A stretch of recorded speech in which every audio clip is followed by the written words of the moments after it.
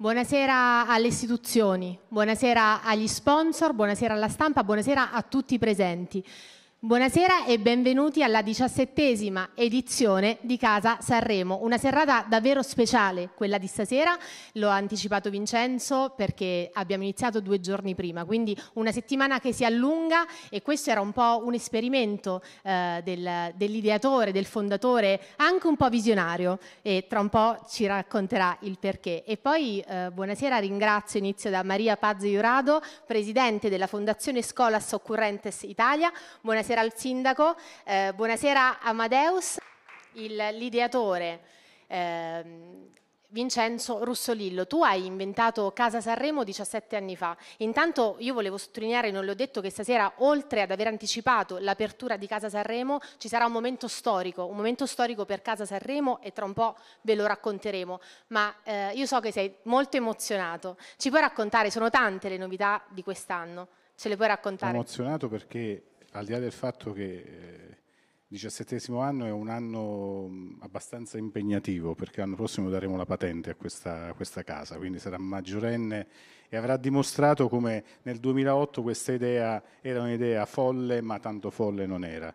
Abbiamo stretto un bellissimo rapporto con la città, in alcuni momenti anche ruvido i rapporti con, con erano con le persone che non ci credevano ma abbiamo avuto la fortuna di avere tante persone che ci hanno creduto e ci hanno dato la possibilità di arrivare oggi dove siamo. Sono emozionato per quello che accadrà tra qualche istante e sono felice perché c'è Amadeus, perché mi ha dimostrato in questi anni sempre la vicinanza. C'è un rapporto, secondo me, di grande stima, spero reciproca. Da parte mia riconosco in lui un grandissimo professionista che non ha bisogno di essere decantato in una serata come questa e che ha dato la possibilità anche a Casa Sanremo di essere quella che è, perché cinque anni fatti anche in momenti difficili, che poi semmai ricorderemo, sono stati cinque anni complicati, complessi anche nei momenti della pandemia e noi eravamo qui. E, quello lo devo anche a chi ha creduto, perché l'unica persona che ha messo piede in Casa Sanremo, oltre le 120 persone che lavoravano, è stato lui e ci ha dato dimostrazione della vicinanza in quel momento. Io ancora mi emoziono per quel 2021. E ringrazio tutti, la stampa, le persone, gli sponsor che ogni anno credono in questo progetto. Vincenzo, quali sono le novità di quest'anno di Casa Sanremo? Allora, come dicevamo prima, scherzando, ma non tanto, noi abbiamo iniziato prima per aprire questo nuovo momento, cioè noi crediamo molto nel fatto che questo festival eh, sia molto pieno in questa settimana invece va allungato, quindi secondo me due settimane di festival sono provocatorie ma per i prossimi amministratori può essere anche un momento per far crescere l'economia di questa città. Quindi se Amadeus decide. Guardando me? Sì, sì, io guardo te. no, perché allora invece di finire alle 3 del mattino potremmo iniziare una settimana prima. Questa... E poi eh, soprattutto perché credo che la città abbia voglia proprio di eh, avere tante iniziative spalmate, quindi quello che abbiamo fatto quest'anno qui dentro è quello di aprire un piano terra che non è stato mai aperto, che abbiamo chiamato Casa Sanremo Underground ed è un esperimento in cui porteremo all'interno tante iniziative, comprese quelle di Polizia di Stato, con i giovani, con le scuole per incontrare durante la settimana del festival appuntamenti sociali. Manteniamo tutto quello che è il palinsesto ufficiale degli altri anni. Ringrazio Veronica Maia che saluto ed è accomodata, prego, almeno per un saluto veloce sul palco che condurrà uno dei contenuti di Casa Sanremo che è l'Italia in vetrina. Buonasera a tutti, per me ecco insomma un po' di anni che sono accanto a te, a Casa Sanremo, eh, Casa Sanremo il festival nel festival è una grande squadra eh, ed è anche famiglia. Mi piace sottolineare questo aspetto e sono felice di farne in qualche modo parte. Vincenzo, hai realizzato l'impossibile in questi 17 anni. Casa Saremo ormai eh, vive di eventi dalla mattina a notte fonda, altro che dopo festival, ma la cosa più grandiosa l'hai realizzata in città, nella città, a partire... E quella, ne parleremo tra qualche istante. Esatto, insieme al Green Carpet, insomma, tutta Sanremo è festival. Buon lavoro a tutti, noi ci vediamo domani con l'Italia in vetrina. Buona diretta. Grazie.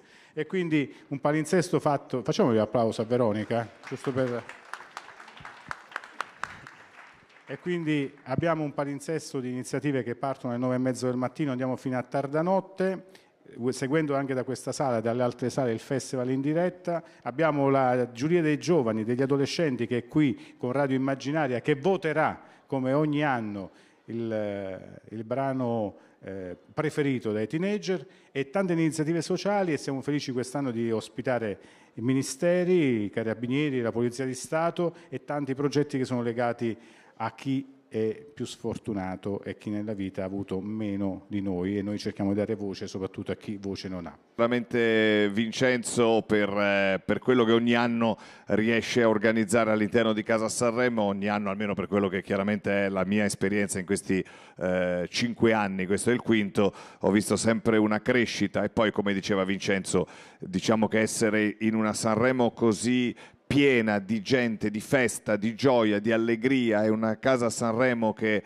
eh, come dire, parallelamente eh, organizza sempre cose molto interessanti dopo essere usciti da un periodo drammatico solamente pochi anni fa, insomma non pensavamo di poter arrivare a tutto ciò. Eh, ce l'abbiamo fatta grazie a, a, chiaramente le persone che abbiamo salutato, grazie al sindaco, ma alla città di Sanremo, a Vincenzo, perché poi se si riescono a realizzare delle cose uno può avere un'idea, può essere visionario, pensare a qualcosa che magari non si è mai fatto oppure magari si, si faceva ancora 30 anni fa, 40 anni fa, quando io ragazzino eh, venivo a Sanremo, vedevo una Sanremo in festa, serate, discoteche, locali, eccetera, eccetera, cosa che poi non si è più fatto. Ecco, per me l'obiettivo appena arrivato nel 2020 era portare Sanremo così come la vediamo quest'anno e così come l'abbiamo vista anche l'anno scorso, che era una città fantastica in festa eh, all'interno dell'Ariston e anche all'esterno.